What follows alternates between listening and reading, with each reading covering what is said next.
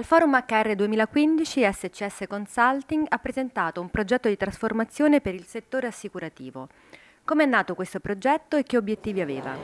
Sì, il progetto mm, che abbiamo realizzato si è svolto in un'assicurazione italiana che si chiama il gruppo ITAS Assicurazioni, eh, una realtà eh, importante rispetto alla tradizione di 194 anni di assicurazione. Abbiamo pensato di presentare questo caso per la forte corrispondenza che comunque ha il mondo assicurativo rispetto al mondo bancario, rispetto alle tematiche comunque della distribuzione, eh, della vendita dei prodotti assicurativi non assicurativi, quindi anche dei prodotti finanziari eh, e quindi della necessità riscontrata di dover rinnovare eh, le competenze delle persone che eh, risiedono nella rete distributiva, con una caratterizzazione specifica rispetto al mondo assicurativo che, la, che si differenzia rispetto a quello bancario, sostanzialmente legata al fatto che eh, gli agenti sono non come titolari di filiali dei dipendenti ma sono degli imprenditori, quindi a maggior ragione eh, il loro interesse, il loro coinvolgimento nell'attività di di questo tipo è da un lato valutato e quindi non preso come qualcosa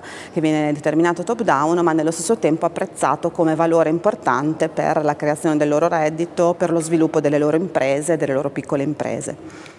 Il progetto partiva dalla percezione del cambiamento del cliente della rete assicurativa, un cambiamento che si avverte anche nel mondo bancario. Assolutamente, eh, lo stesso cambiamento che proprio eh, anche diciamo, studi o analisi che vengono fatti nel mondo bancario, anche dal, da, da, altri convegni di ABI abbiamo visto eh, come l'evoluzione del cliente verso la digitalizzazione, verso una maggiore informazione, verso la necessità di essere più consapevole delle scelte che fa da un punto di vista di acquisto dell'acquisto dei prodotti finanziari, dell'apprezzare eh, le differenze legate al servizio che viene erogato dai, dalla rete distributiva e quindi anche dalla necessità poi di eh, provare una customer experience che non sia neutra ma che sia di eccellenza, diventa un elemento assolutamente, assolutamente trasversale. E da qui è partito il nostro progetto rispetto a una, una direzione commerciale che sicuramente aveva di fronte tutti questi elementi, ha voluto eh, eh, indagare sostanzialmente e quindi capire meglio come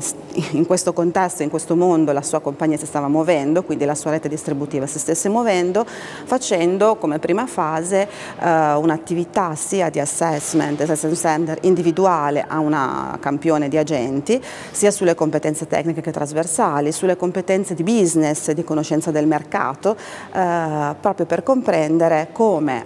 gli agenti in questo momento stavano rispondendo a questi cambiamenti e come stessero rispondendo ai cambiamenti anche rispetto alla gestione delle loro strutture, delle loro realtà imprenditoriali. Eh, parallelamente è stata svolta un'attività di mystery client in modo da portare in analisi anche gli elementi legati al punto di vista del cliente realmente che si confronta con eh, i territori presidiati dalle agenzie ITAS. Eh, da qui è nata un'attività formativa che ha coinvolto tutta la rete, quindi tutti gli agenti e tutti i collaboratori degli agenti su tutto il territorio, eh, realizzata con una metodologia che abbiamo chiamato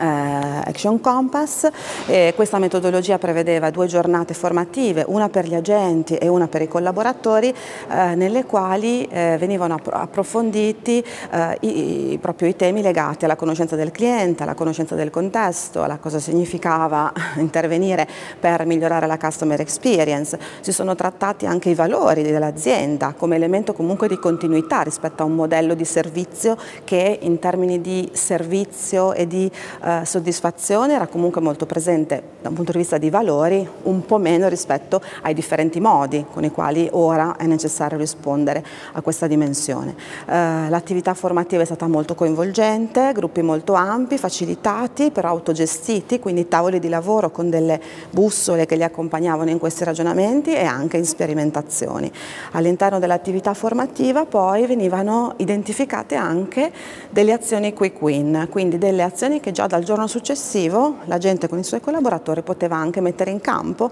in una logica di con maggiore approccio consulenziale nei confronti dei clienti e di eh, proattività commerciale. Queste azioni poi eh, nella terza fase, quella della messa in azione, vengono in un qualche modo monitorate, stimolate, tenute attive da una survey che eh, va a riprendere anche i contenuti trattati in aula, quindi della giornata formativa